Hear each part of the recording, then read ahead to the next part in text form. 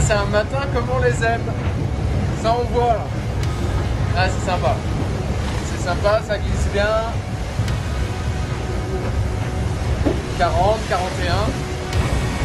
Plus de 75 km/h sur l'eau.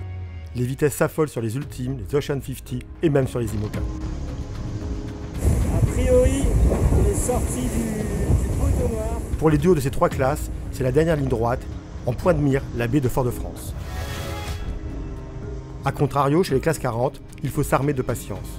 Transat Jacques Vabre 2021, la transat la plus longue de l'histoire. C'est le jour 34. Nous sommes, nous sommes au jour 34. Putain, c'est marrant, on est au large de l'Afrique quoi.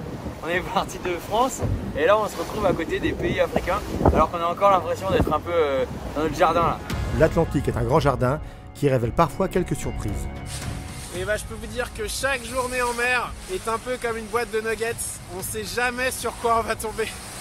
Certaines peuvent avoir un goût amer. Cette plaque-là, ça s'appelle euh, la sargasse.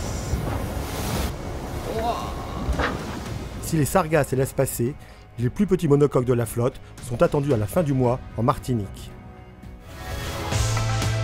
Chez les ultimes, le Maxi Edmond Rothschild possède plus de 350 000 d'avance sur Banque Populaire. Les Ocean 50 dansent la salsa le long de la zone interdite à la navigation au nord du Brésil.